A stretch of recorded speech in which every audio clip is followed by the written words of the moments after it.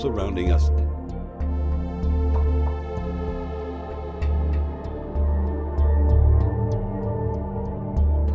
Our understanding of the universe has increased to a great extent. Our probes and satellites are our eyes, far deep in the realm of space.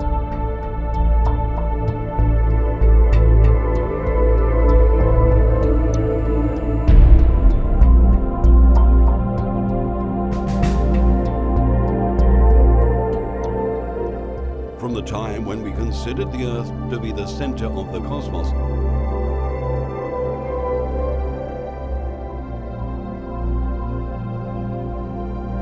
till today, when we have confirmed the existence of gravitational waves.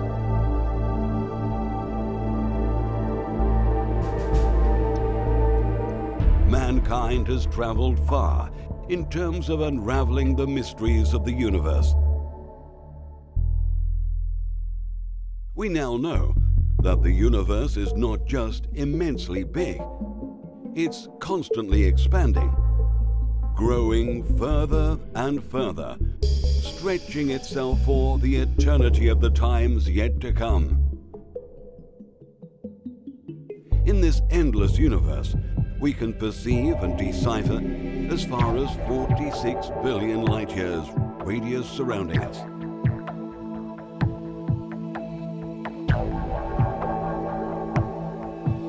And though it may be a tiny fraction of the limitless expanse, it is big enough to seek the answers of the origin of everything. A part which we call the observable universe.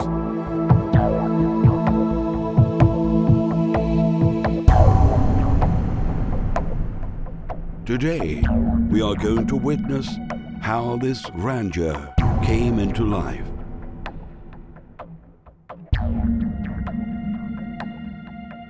Let's begin from the time when the time itself did not exist.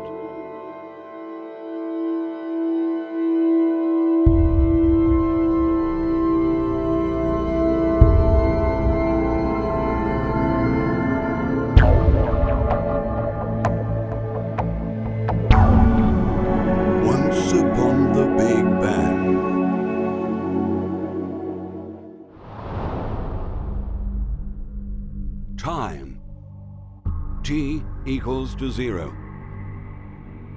The entire world as we know it did not exist. It will take another 13.7 billion years to reach where we are at present. There was no sound to carry and no light to see anything. They all will come later. The world at the birth of time is nothing but an infinitesimal point, a singularity. This is the hypothetical instant of the Big Bang. From this point, the expansion of the universe will happen.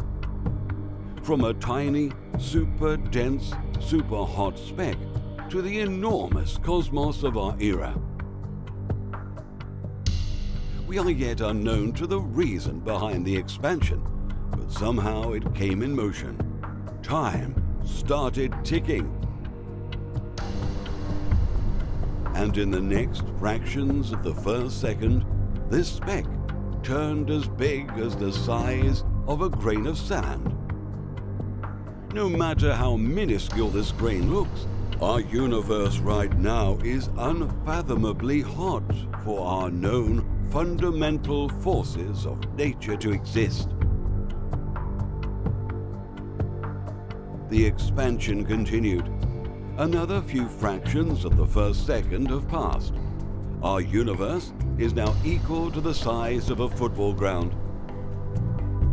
But even now, the universe is nothing like the universe of our lifetime.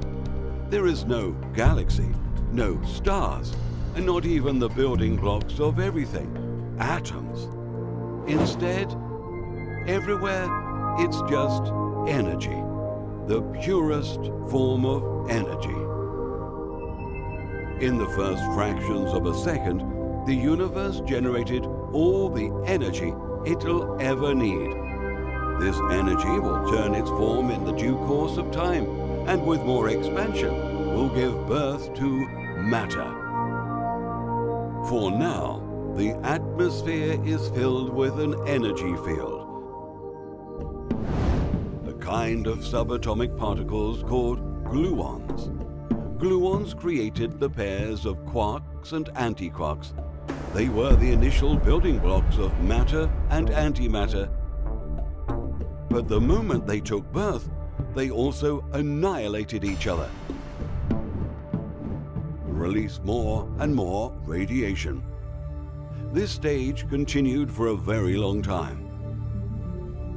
Might the quarks and anti-quarks have taken birth in balance, we would have never been born. They would have kept annihilating each other forever. But fortunately for us, there was an imbalance. For every thousand anti-quarks, there was a thousand and one quarks. With the further expansion of the universe, the atmosphere kept cooling down. Soon, the energy field became inept of generating new quarks or antiquarks. Once the annihilation stopped, we got the world full of quarks. Our world is the outcome of an imbalance of nature.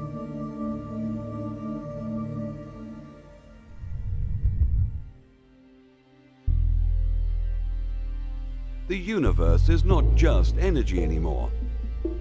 It is an orange, opaque, searing plasma of protons and electrons. Still extremely hot to produce any stable matter. However, it is expanding and cooling down with every passing second. From the beginning till here, the universe is only a few moments old.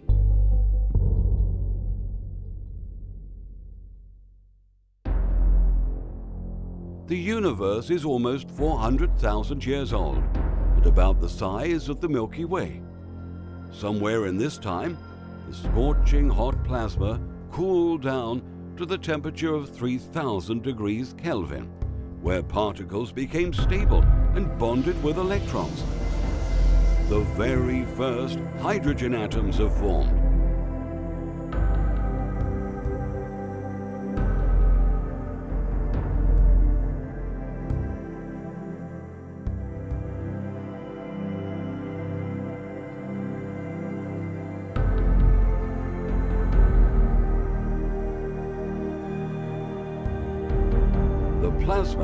Slipped down into gas. At that same instant, the previously trapped infrared light also got free.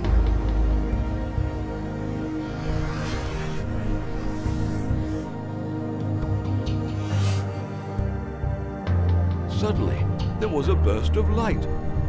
The universe got filled with immense brightness. Light was free to travel across the width of the cosmos The universe turned from opaque to transparent.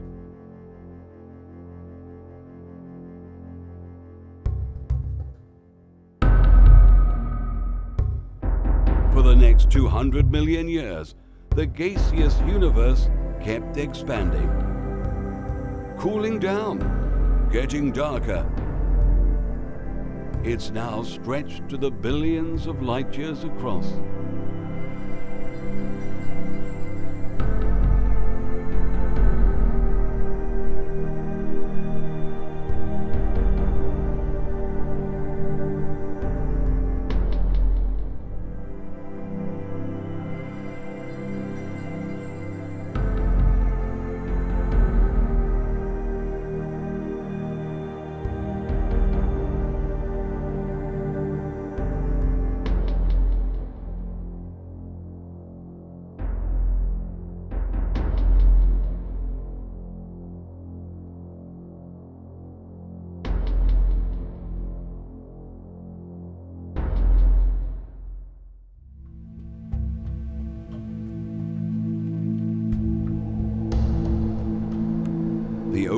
Temperature drops so low, space is now colder than liquid nitrogen.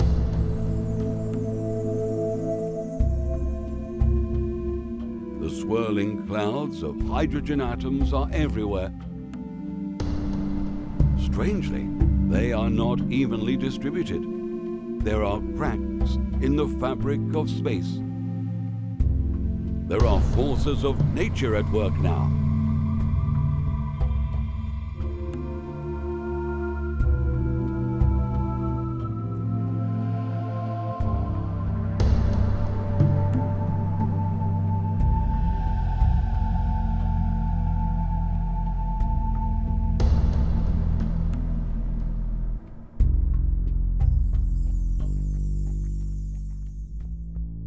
Gravity started pulling the gas closer. They are forming denser regions of clouds, becoming smaller and hotter. The atoms began fusing and releasing energy, and the gas clouds started to burn brightly. These are the first stars of our universe.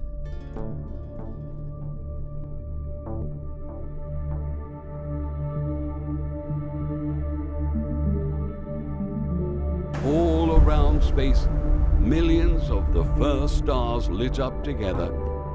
In the most spectacular fashion, our universe was once again filled with light.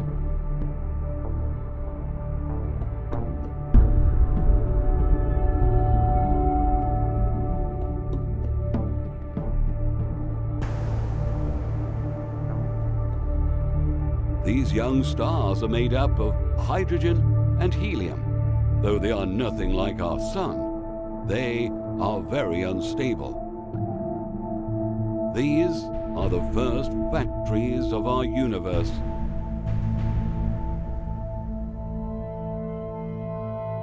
Through a nuclear reaction, they are forcing atoms to fuse together and create heavier elements like carbon, magnesium, or the heaviest, iron essentials for the formation of solar systems and planets.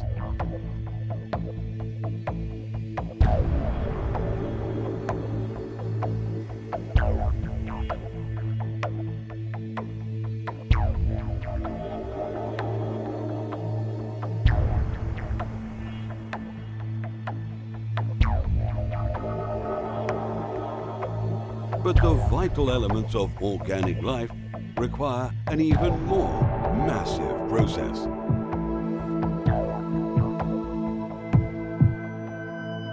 Soon, the stars will run out of fuel and collapse into themselves.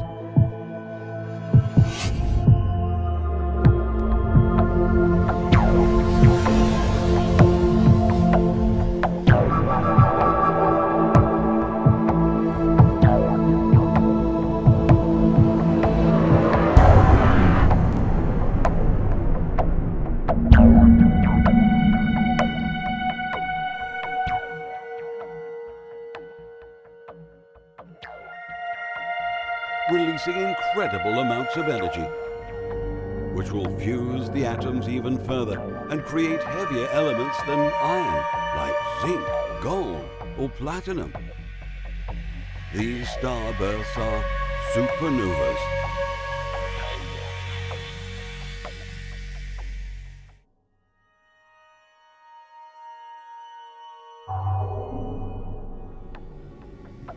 The debris of these stars accumulates together and gave birth to the much complicated systems of the universe, like galaxies, solar systems, and planets.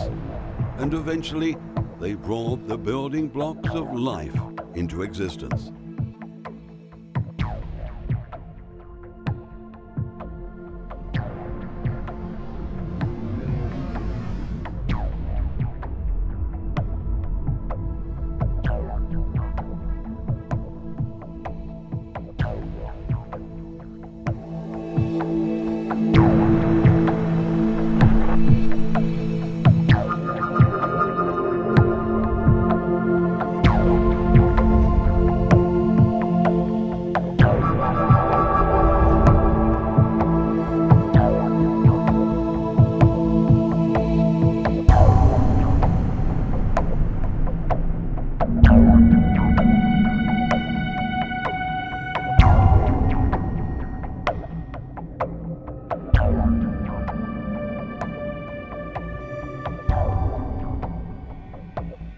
From the first intense second of the birth of time till now, one billion years have passed.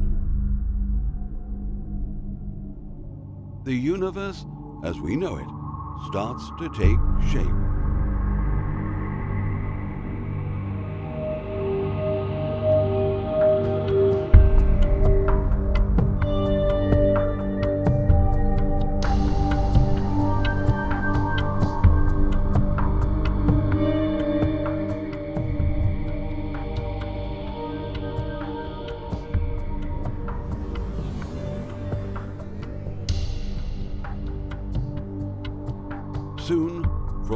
The dust clouds, our Milky Way will take shape.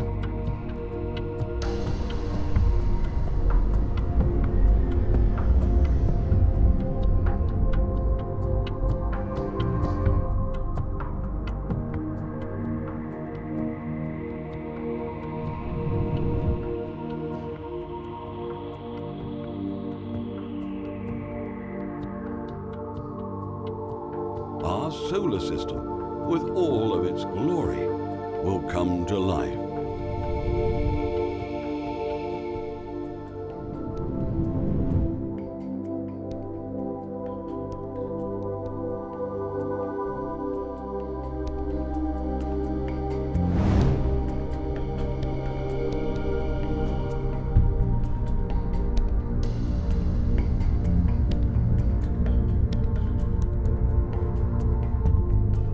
It'll take another 13 billion years of evolution before any kind of life will take its first breath. However, the pieces of the puzzle are set in the right places.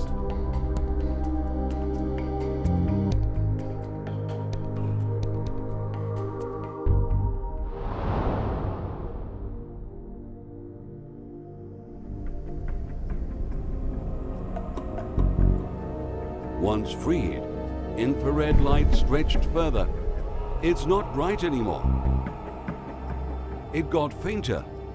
It turned into cosmic microwave background. Though it still is the relic of the early stage of the universe.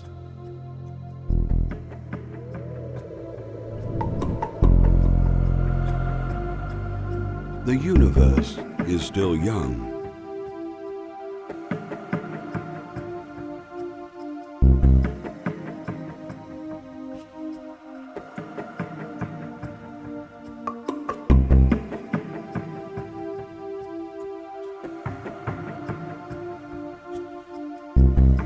And another 4.5 billion years after the birth of Earth, our eyes in space would observe the expanse of this vast universe across space and time. And someday in the future, we'll be able to connect all the dots and would be able to see the whole mystery unravel.